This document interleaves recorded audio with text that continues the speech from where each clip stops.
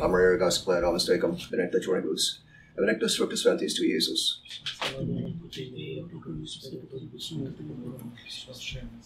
Seated.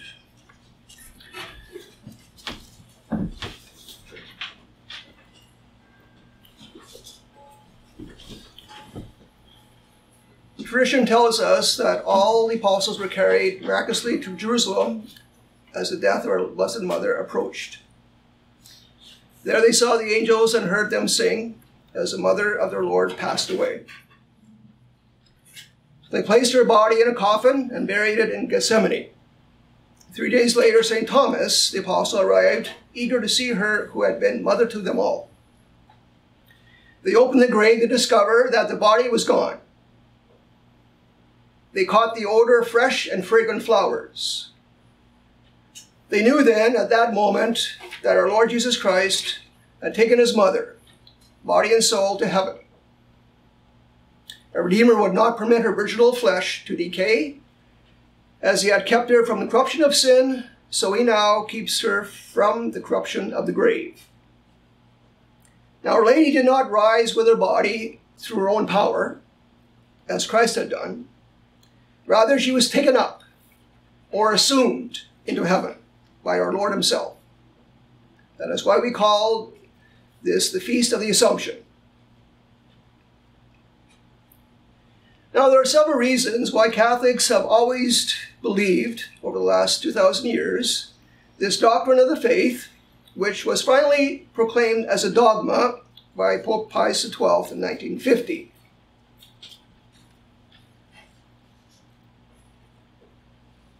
Here are a few of those reasons. First of all, it is impossible to imagine that our Savior would permit the body of his Blessed Mother to decay and rot in the grave. Secondly, waiting for the final resurrection of all bodies at the end of the world is a punishment for original sin. The Blessed Virgin Mary was kept from original sin and was perfect in, in remaining sinless in her whole life. Therefore, she should be kept from the punishment of sin and from the grave. Third reason, Sacred Scripture had foretold that Mary would conquer sin. The very first book of the Bible speaks of this in Genesis 3.15. Quote, I will put enmities between thee and, and the woman, and thy seed and her seed. She shall crush thy head, and thou shalt lie wait in, in wait for her heel. By her immaculate conception, Our Lady won a victory over sin. By her virgin motherhood, she won a victory over sinful desire.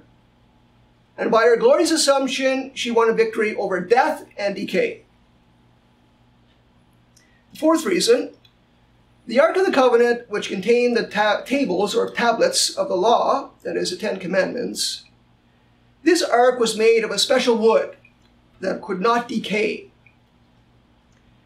And King David in the Psalms, as well as St. John in the the last book of the Bible, the Apocalypse, they both speak of this ark as existing still in the temple of heaven.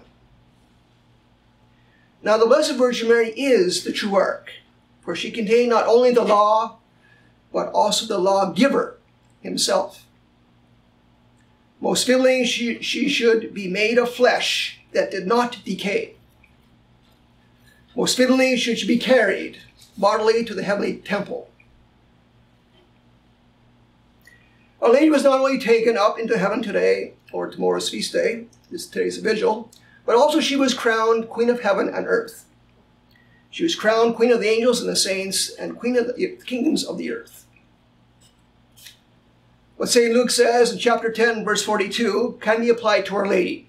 Quote, Mary has chosen the best part, and it will not be taken away from her. Indeed, the very best part, the highest position next to Christ, was hers on earth and is hers in heaven, and will not be taken away from her. Now, one of the great lessons we can learn from this feast day of Our Lady is a lesson of preparing ourselves for a happy and a holy death. The most important moment in our life is the very moment that we die. And that this will determine our destiny for all eternity. Either we will be saved or we will be damned. Either we'll be with God forever or we will be lost forever. And the best way for all of us to have a happy, holy death is to begin right now. And until we die, to constantly prepare, prepare for a happy and holy death. And here's a brief summary from Catholic theology and from the wisdom of the saints on how to do that. First of all, live each day of your life as if it were your last. Do not mess around and waste time on worldly pastimes, which 99% of our culture does. Even today could be our last day on earth. Our Lord warns us himself in the, in the Gospels. He will come like a thief in the night. Hence, let us always be prepared. Secondly, say no to sin and yes to God. What does this mean? Sin leads to sadness, slavery, and death. Hence, let us renounce sin at all costs and turn to God who gives us life. Our Savior said, I am the way and the truth and the life. Thirdly, do what you are doing. This is a key concept of the saints. It means living in the presence of God. The present moment, always striving to do our duty and obligations with the best of intentions. St. Ignatius of Loyola, this famous motto, all for the greater glory of God. Fourthly, if we fall, get up immediately. What does this mean? If we fall into sin, then get up right away, making a perfect act of contrition with the intention of going to confession as soon as possible. Never put off our conversion for tomorrow, but rather act on our conversion immediately before the sun goes down. Fifth way, charity. Aim always for the greatest of all virtues, namely charity. Our Lord Jesus Christ tells us what is the greatest of all commandments, and is, is a double commandment, actually, to love God with all our heart, mind, soul, and, depth, and strength, but the second part is to love our neighbor intensely as we love ourselves. And uh, why do we say intensely? Because he stressed in the Last Supper to love as I have loved. Regarding the topic of a holy death, St. John of the Cross teaches us, quote, In the twilight of our existence, we will be judged on charity. Sixth way, think of heaven.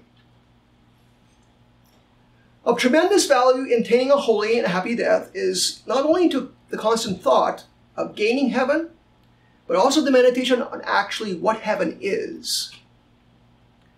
St. Paul gives us a mere glimpse with these inspiring words. Quote, I, that is E-Y-E, eye hath not seen, ear hath not heard, nor hath it entered into the mind of man the wonderful things that God has prepared for those who love him. End of quote.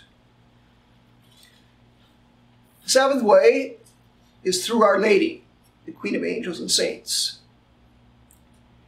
The saints all agree on this spiritual maxim, namely, quote, Mary is the shortest, most secure, and the most efficacious pathway to Jesus Christ and heaven. Then why not turn right now to Our Lady and beg for the grace to go to heaven this we can do by faithfully praying, for example, a rosary every day with proper meditation on its mysteries, especially the fourth glorious mystery, praying the grace for having a holy death.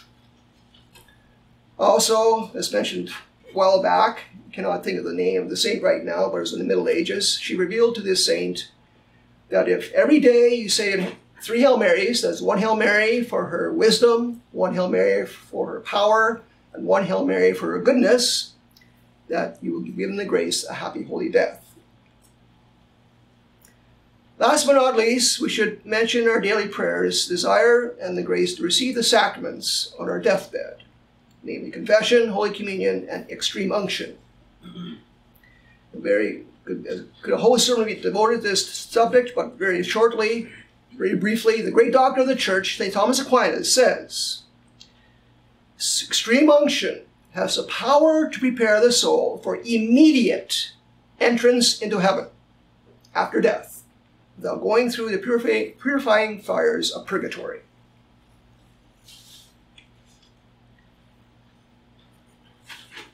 All these recommendations, of course, rely on the person having the true faith, since divine faith is the foundation of all supernatural virtues. St. Paul says, without faith, it is impossible to please God.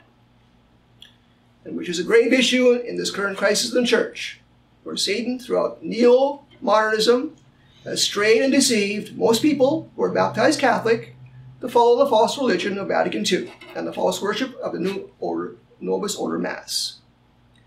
And even so-called church Catholics who have compromised and supported the heresies of Vatican II by belonging to the indult mass communities and also the neo-SSPX, who think that the new mass is legit, legitimate. Mary, assumed into heaven, pray for us. Amen. In the Father, and the Son, and the Holy Ghost. Amen.